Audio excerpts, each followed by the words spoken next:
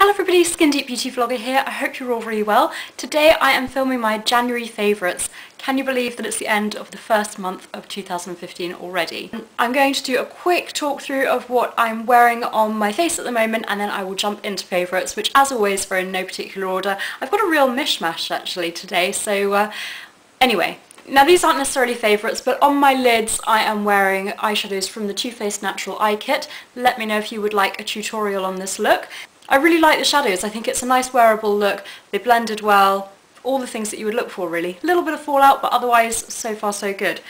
On my lips, I'm not sure about this. I really want to try and like these. This is the Bourjois Rouge Edition Velvet, which everybody raves about, and people that I really respect. You know, people like the Sparklicious, you know, girls that I go on really well with and I trust their taste in beauty products. I don't know if it's just that I've got the wrong shade. I've got the shade Nudist, Number seven, I'm not loving it. I can kind of, you know, they feel comfortable on the lips, but I don't know. I'm not convinced so far. Maybe I need to check out some other shades and see how I get on. Sorry. My phone's just gone. My best friend hosted a dinner party on Friday and I thought everyone was going to be doing dry January, but I took a bottle of wine anyway. Her husband is a little bit too generous with pouring the wine, so today is Sunday and uh, we're only just all texting now because uh, I just... Yesterday was hard work, let's put it that way, but it was a very nice dinner party. I mean, these are girls that I've been friends with since, I don't know, I was about seven years old and you know, we're still friends, which I think is really nice. Last thing I want to mention are that I'm wearing are my earrings. I rarely wear earrings, but these are by Alex Monroe, and I really like them. So let me know, do you think they look weird on me? I'm not sure. I never used to wear earrings because I didn't like my ears. I thought that they stuck out, and I don't actually think they do any more than anyone else's ears, but um, I don't know. Just felt like I would uh, be a little bit bling and wear some gold earrings today because I've got a really boring camel coloured top on. Anyway, Stop rambling and get on with favourites. My videos are always far too long anyway. As I mentioned, they're in no particular order, so I'm going to start off by talking about the Clarins True Radiance SPF 15 foundation. Love this. I did a first impressions review on it, which I will link below. In that video, I wasn't too sure whether I loved it or not. I really liked the dewy finish that it gave, but I found in terms of longevity, I needed to find the right powder to pair it with to make it last on my combination skin. That's why that ended up being a review as well as first impressions, because I came back after a week and gave you my thoughts if you did manage to stay tuned till the end in that video. Um, but overall, I really love this. I've also done a blog review of it, so again, I will link that below. It's an expensive foundation, but I like it. It really does live up to that True Radiance name. Um, I guess I'll talk about the other high-end product that I've got to share with you, and that is the Kiehl's Amino Acid Shampoo. I need to do a blog review on this, um, so stay tuned for that. I'll probably do it next month, or February. This has got pure coconut oil in it, and it does have a coconut fragrance, which I don't normally go for in shampoos, but in this it's a nice, um, it's a very realistic coconut fragrance, so it's nice and soft and subtle, very pleasant. It's not like those synthetic, cheap coconut fragrances that you can get.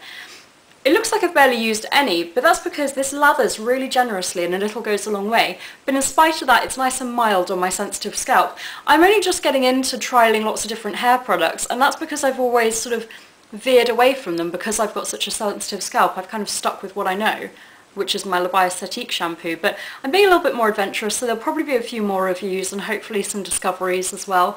Um, but yeah, I really like this. And I love Kiehl's. I mean, who doesn't love having Kiehl's in their bathroom? It just looks so cool. It's like, it's a nice, cool brand. Am I going to be able to uh, zoom through these products without waffling on before we lose light? Hopefully so. I'm going to talk about another um, hair care product. So as I said, trying out lots of different hair care. I'm trying to be a bit braver. I've really been enjoying the Bouffe Dry Spray. Um, this is a texturizing spray. I've been trying to find a sort of more affordable version of the Oribe Dry Texturizing Spray because I have a problem spending that amount of money on what is essentially an aerosol that I'm probably going to use up quite quickly. And I saw this in Boots and I just sort of thought, well, I haven't got anything to lose, it's about fiver.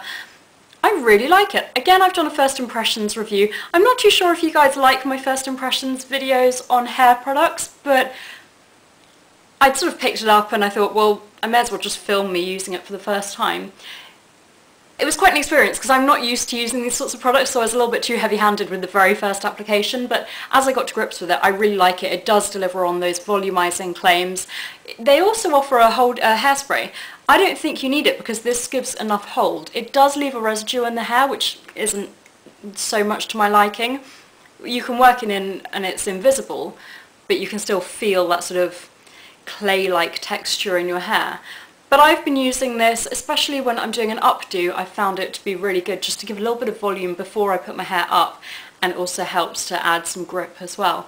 So I would recommend this, I like it. Who would have thought that I would have two hair care favourites? Things are changing.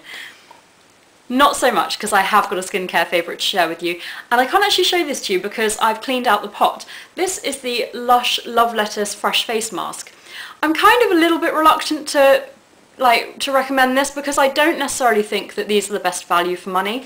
Um, this is 75 gram pot and it looks small. I don't think they could get away with doing it any smaller but I do find that these you have to keep them in the fridge and I do these fresh face masks are really good I've enjoyed all of the ones that I've tried I've tried about three of them um, out of the ones they offer and this one being my favourite my complaint with them is that I never get to the bottom of the tub before it starts to go off and this really does go off I kept it in my fridge and I went to use it and I was like oh it's getting a little bit mildewy so um, I just cleaned it out and I'll return the pot I don't think you can use these smaller pots towards their sort of return five to Lush and get a free fresh, fresh face mask. But when I do do my five back and get a fresh face mask, this will be the one that I pick up again. Although they're affordable, I think that they're not necessarily the best value for money because I always end up wasting some of the product in here and having to throw it away before it goes off. Um, and having to throw some away because it goes off before I get a chance to use it up. This is an effective exfoliating face mask to give normal to oily skin a radiant glow with polishing almond shells, softening almond oil, soothing lavender oil and the magical tightening action of Fuller's Earth. It's a gritty mask, it's green in colour. It's a little bit messy to apply because it has got those bits in it um, and it has a lavender fragrance, nice and relaxing to use from that lavender oil. But I really, really like this because I wouldn't necessarily recommend this for acne prone skin because it has got those granules in that are probably going to be a little bit too harsh if you have an active breakout. But if you suffer from blackheads, this is fantastic. For me, I'm not saying it's a dupe, but it has very similar effects on my skin as Glam Glow, but for considerably less money. So I would highly recommend checking this out if you can. Not quite a dupe, but very, very similar results, and that's why I like it and I wanted to mention it. Last beauty favourite I'm going to mention is a mascara. It's what I'm wearing on my lashes at the moment and I have mentioned this previously on my channel. Unfortunately it's only available to my Canadian subscribers so I know there's a few of you, thank you for um, supporting my channel. This is the Marcelle Xtension Plus Mascara. I don't know, maybe if you're not in Canada you could probably find this on Amazon or something. It's designed to be lengthening and curling but I really like this because it is lengthening and it holds a curl well, but it's also very buildable and you can get nice volume with this. It's um, just a plastic bristle wand, but as I said, I like it because it's so buildable. You can even get into those small lashes because it's a nice thin wand underneath as well. Really nice mascara and I honestly wouldn't ever have come across this if it hadn't been sent to me in a swap with my friend here on YouTube, Carly Jean X. Doesn't really do YouTube videos as often as I'd like her to do anymore, but um, Really love this, so thank you for sending that to me. I have got just two non-beauty favourites that I wanted to very quickly share. Um, first up these shoes from Carvela. I really like these. They're, they're just plain black cords, but as you can see, half of them is patent leather and the other half is suede. So I like them. I think they're quite cool. They are high. For me, they're very comfortable. I'm used to wearing high heels anyway, so no problem find them comfortable to wear it and they go with lots of different things. Good for work and meetings and nights out alike. And then finally, I just wanted to say I've been getting really into Gossip Girl all over again. I have Netflix and when I first subscribed to Netflix I was like, this is rubbish, I can't find any of the movies that I wanted. I kind of thought that it would be a lot more up to date in terms of movies like Love Film. But and they have got a few movies. I recently watched Dallas Buyers Club, for example. For TV series, it's really good. I've really enjoyed watching Orange is the New Black. And now I'm on to Gossip Girl. I'm up to season four. Don't give me any spoilers. I used to watch Gossip Girl when it first came out, but I only got up to around season two or three. So I remember some of the episodes, but now it's all new and I'm loving it. I'm absolutely hooked and I'm kind of getting really into it and keep wanting to wear hairbands and I keep wanting to do Gossip Girl inspired tutorials, but that's probably a little bit too dated. Anyway, Do give me a thumbs up if you've enjoyed this video. I'd love to hear what, if you had to narrow it down, I would love to hear what your single favourite product or discovery of January 2015 has been. So do drop a comment below. Give this a like if you've enjoyed it and subscribe if you're not already and I will see you all soon. Thank you so much for watching. Bye!